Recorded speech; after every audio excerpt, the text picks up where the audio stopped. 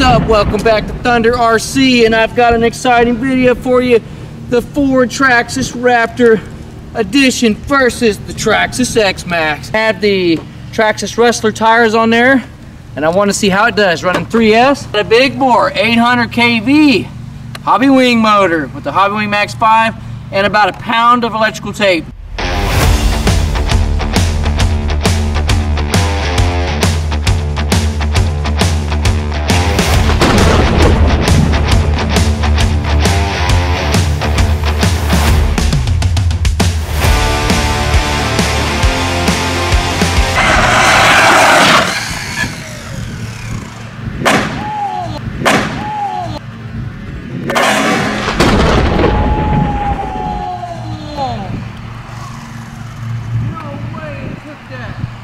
It took it.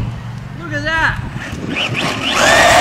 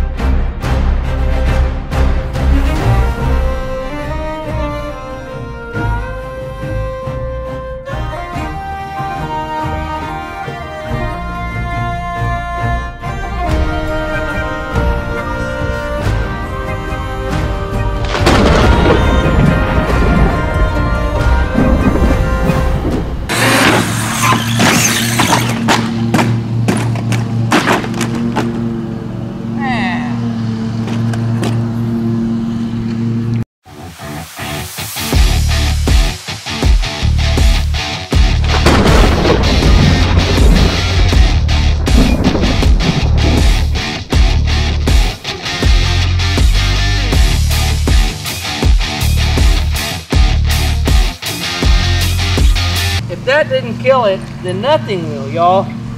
The X-Maxx is legendary. Now my battery flew out because I don't have the battery straps in there and I need to put them in. I just had them taped in, but looks like I got kind of lucky with the battery. That's good. Let's see what's what's going on inside the truck here. Yeah, all looks good. I can't believe it, y'all. Wow. With the 800 kV motor, this thing is held up. I mean, I can't believe it. I've had chassis slaps. I mean, wow. What a beast. X-Maxx is king, king, king.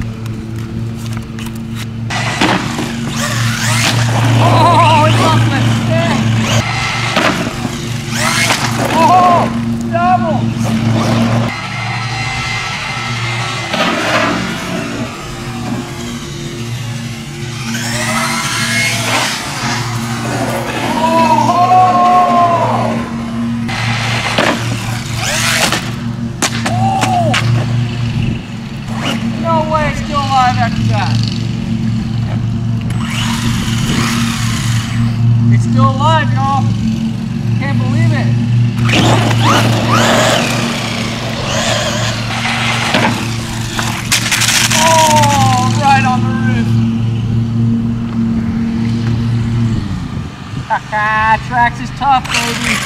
No body or anything. No worries.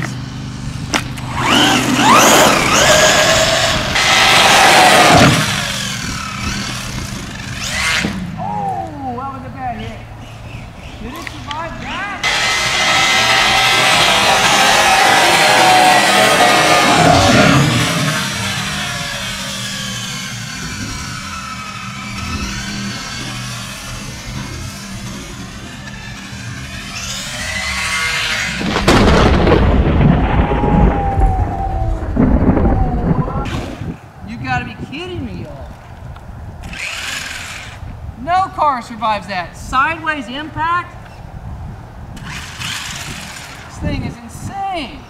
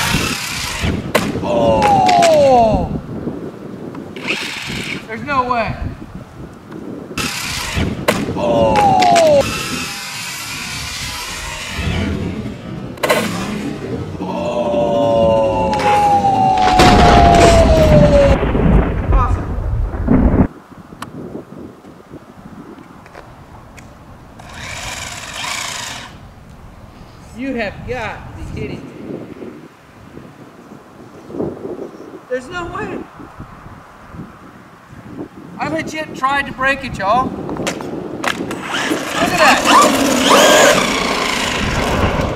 It's, it's, it's unbreakable.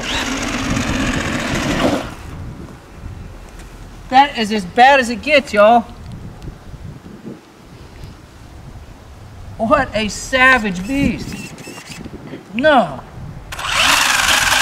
I'm gonna go down saying this is the toughest truck I own. I know I say that all the time, but have you ever seen something like that? That'd have broke anything. It's one of the toughest. I, uh, I don't know.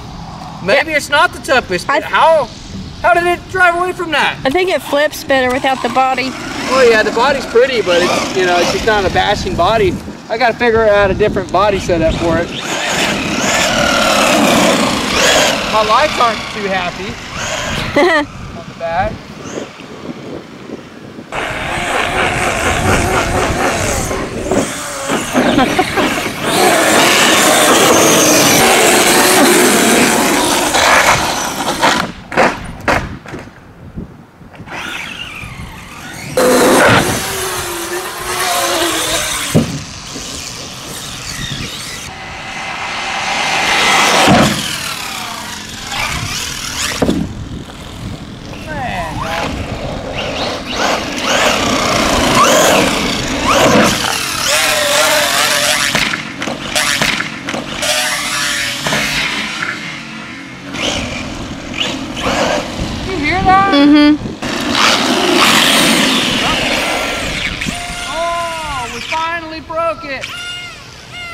Sounds like the spur gear.